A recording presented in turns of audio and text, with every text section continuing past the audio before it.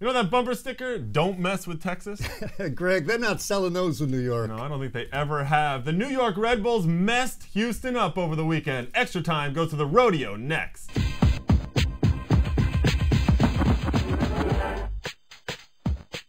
Welcome to Extra Time, everybody. Alongside Shep Messing, I'm Greg Lawless, and I am almost speechless after what we witnessed this past weekend, which really wouldn't be very good for the show, but it is a huge statement for soccer fans in the U.S. because we saw some special stuff this weekend, including Real Salt Lake getting into the conference finals, Chicago vanquishing their playoff nemesis, and Columbus just going about their usual business as the best team in MLS.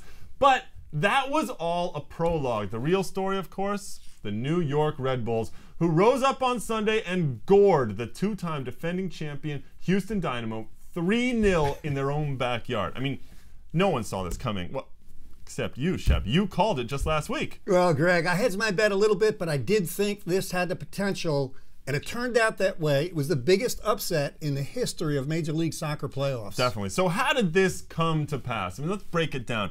Did Houston just finally break down after playing so many games this year? Yeah, Greg, I don't think it was a function of that because they did the same thing last year, got the job done, won MLS Cup. They have a very deep roster. I don't think that was the problem. We also would have seen it over the last month, I think, if that were the case. So, what did happen? Was it maybe that they lost their edge? Because if I looked at it, they didn't really look very hungry out there. I think maybe that's a little bit of a factor. I think they got the equalizer late at Giant Stadium, and mm-hmm. maybe they felt the series was won, but I, I, don't think that was it. Keep it in perspective. Houston dominated this game. Soccer can be a cruel sport. They outshot New York 16 to 7, but tactically, this was an upset in the making because Houston plays a high back line. New York had the speed to beat them. Well, the speed was Dane Richards. He was a monster on the day. The guy is as quick as a water bug.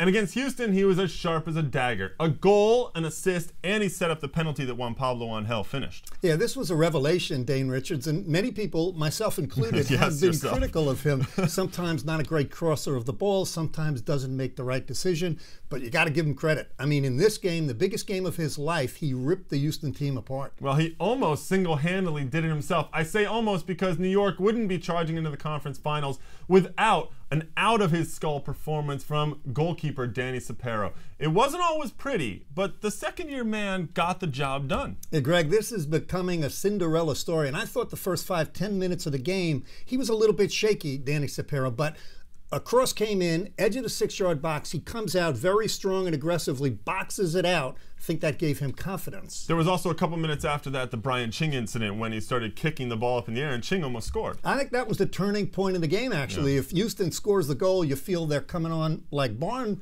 burners, but Danny Cepero showed his athleticism. He stayed with the play, got to the ball before Ching. Well, Cepero made several big saves in the second half as well, but what about Brian Ching? Other than that play, the big kahuna was invisible on the afternoon. However, Houston can't be happy about this one, but maybe they can take some solace in the fact that they can take out their anger from this game on Firpo from El Salvador in a win and advance situation for their final Champions League group stage match in late November. Well, Greg, maybe that's a consolation, but kudos, congratulations to a worthy two time defending Houston team MLS champions two years in a row. They'll be a new champion this year. And it could be New York. New York now advanced to face Real Salt Lake, who earned a gritty 2 2 draw at Chivas USA on Saturday. It was a heck of a game, wasn't it? I mean, the 2 3 matchup in the West was the only one that produced a winner in the first leg.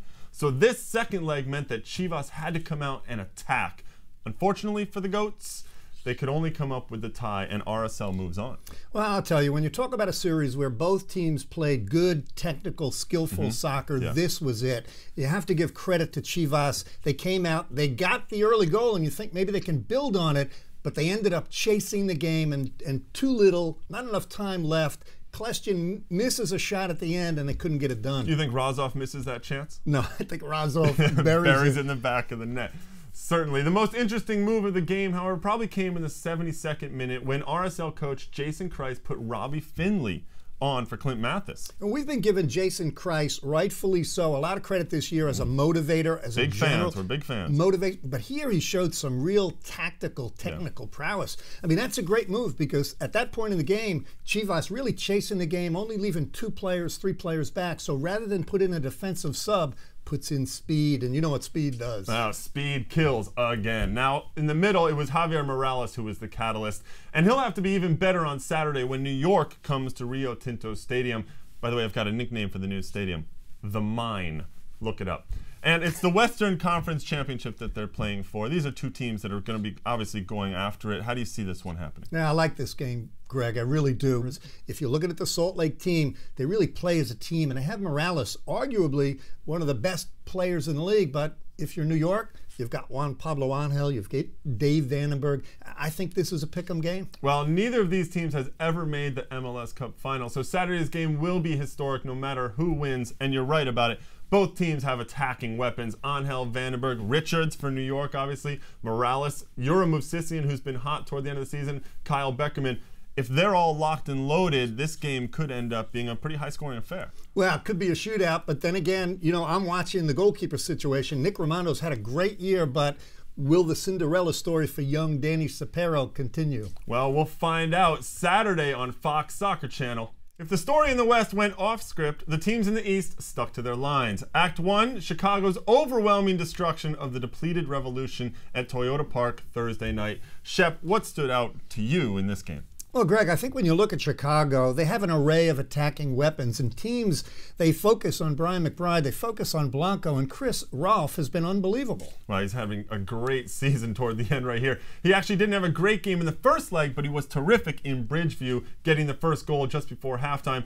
The turning point, however, came about 10 minutes before that the Revolution's Jeff Larentowicz had to leave the game after this mistimed tackle by John Thorrington. Well, a little deja vu because they played earlier in the year, Larentowicz with an early red card, and Chicago walloped them 4 0. I thought Thorrington should have gotten a red card on that play. Because I, I don't. I think a yellow card was right. Why a red card? Well, I thought he was from behind. I thought it was studs up. I thought it was that violent. But nevertheless, it's not really red card or not, but once New England lost Larentowicz, I think they lost the game. That's true. Larentowicz's departure meant New England were without four regular starters in the lineup at that point, and Chicago took advantage of the greenhorns that came on.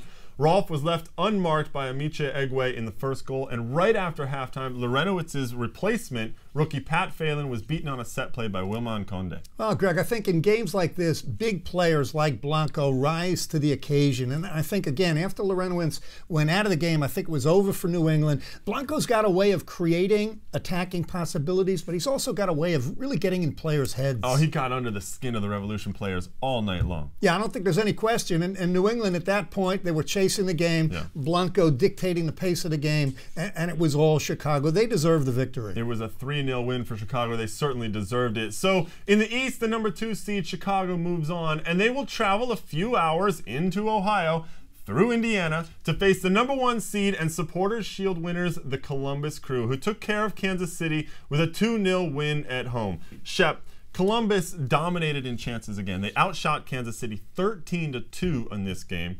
But it was really the defense that got this one done. Yeah, you talk about a well balanced team, and we've talked about the attacking ability of Columbus, but I like to focus on their defense. Remember, the first game in Kansas City, even though Kansas City got a goal, they really didn't get into the flow of the game offensively. Chad Marshall, Danny O'Rourke, Brian Carroll in the midfield, they've been unbelievable. They got Padula at left back, so on the defensive side of the ball, they just really put a blanket over Kansas City. Yeah, they did a great job. Kansas City, however, did commit the ultimate sin in an away playoff game. They gave up a goal in the first 10 minutes. It was a great combination, though. Columbus by two of the most underrated players in MLS, probably Brian Carroll and Brad Evans, who finished it off for the goal. Yeah, I know you love both those players, and, and, and, Brad Evans. I mean, what goals amazing, he's been amazing. scoring! Uh, that goal that knocked DC United out yep. in the final game of the season, got New York Red Bulls into the playoffs. But Brian Carroll, Sigi Schmidt identified him early in the year. One of the most underrated and important players in the league. He's been awesome as a two way player in the midfield. Well, he has the experience also with DC United, having won an MLS Cup there. And Evans is a player that I've come to really like recently. He seems to be a perfect complement for Guillermo Barros Schelotto because of the ground he covers, both defensively and getting into the attack, opening up space for the Argentine to work in. The bonus? As you mentioned, he has goals in two of the last three games. Now, on Thursday night, the Eastern Conference final takes place Chicago at Columbus. And I'm sure that the crew supporters out in the Nordecke will be louder than they ever have. I'm sure Chicago will travel a big horde of their fans from Section 8 Columbus have never made it to the MLS Cup before. Shep, what's going to decide this game? And this should be an awesome game. I, I really like it because these teams mirror each other. Both really good in goal, strong defensively, mm-hmm. good wide midfield play. They both have finishers up top, but I think the key Columbus, they have Schelotto pulling the strings. Chicago, they have Blanco. Which guy will have the better game? And don't forget some other big names. You have Brian McBride uh, and, and obviously Robbie Rogers. McBride, how ironic that he's going back to Columbus where he made his reputation. That game is going to be Thursday night on ESPN2. Don't miss it. Time now for the Volkswagen Wow Moment of the Week. It's a day at the races for New York. It's New York at Houston in the playoffs through ball by Ubiparipovic, Tadane Richards, splits Wade Barrett, and Bobby Boswell, and roofs it past Pat Onstad. Look at Dane Richards. Wow. Player of the Week performance from Dane Richards. He also added an assist and created a penalty shot on that one. Perfect for the Volkswagen Wow Moment of the Week. Well, that's all the time we have this week on Extra Time. The conference championships taking place this week. Shep, give me your Western Conference Championship prediction. Put me on the spot. Yeah. Okay. I-, love the season Real Salt Lake has had. They're playing at home. Red Bulls, three to two with a late goal. Uh, I'm going to disagree. I lost faith in Real Salt Lake last week. I'm going to stick with them this time.